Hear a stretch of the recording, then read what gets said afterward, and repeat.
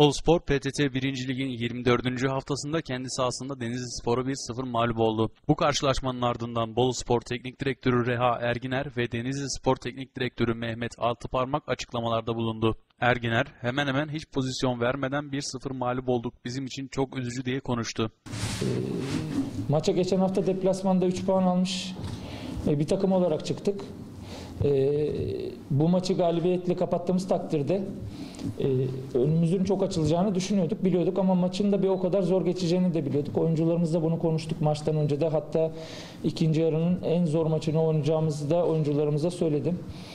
Ee, Evet hiç aklımızın ucundan geçmeyen bir mağlubiyet aldık. Aslında maçı kazanacak pozisyonları da bulduk maçın içinde ama değerlendiremedik.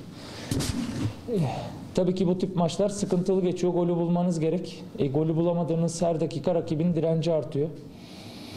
E, yani rakibe hemen hemen hiç, pozisyon vermeden doğru düzgün 1-0 mağlup olduk. Bizim için çok üzücü. Bu, bu maç özellikle ayrıca önem verdiğimiz bizi çok iyi yerlere getirebilecek, iddiamızı ortaya koyabileceğimiz bir e, maçtı ama maalesef onu öteledik.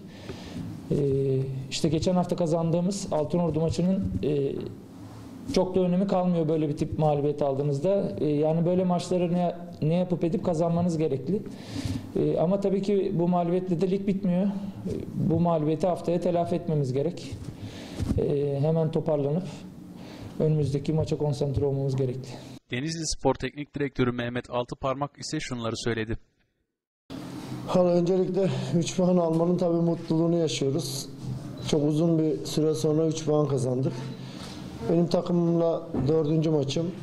Bundan önceki maçlarda da inanılmaz mücadele ettik. Çok iyi oynadığımız maçlar olmuştu ama 3 puanı hanemize yazdıramamıştık. Bugün hem mücadele anlamında hem birlik beraberlik anlamında hem kazanma anlamında inanılmaz istek ve arzumuz vardı. E, maçın nasıl geçeceğini zaten bir haftadır futbolcularımızla çalışıyoruz. Bolu Spor'un özellikle iç sahadaki e, problemlerini çok iyi biliyorduk. Tam bir deplasman takımıydı Bolu Spor. Ama iç sahada problemleri vardı. Mümkün olduğunca e, onlarla mücadele etmemiz gerektiğini, çünkü mücadele edenin kazanacağı bir maç olacaktı.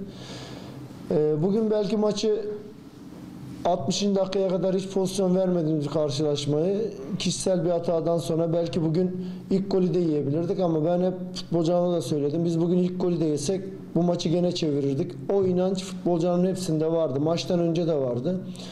E, maçın içinde de bazen böyle %100 pozisyonlar oluyor atamıyorsun. Daha önce biz yaşamıştık. Bugün e, belki çok mücadele ettik. Çok istedik onun semeresini aldık diyeyim. Ama bizim için e, altın değerinde bir 3 puandı.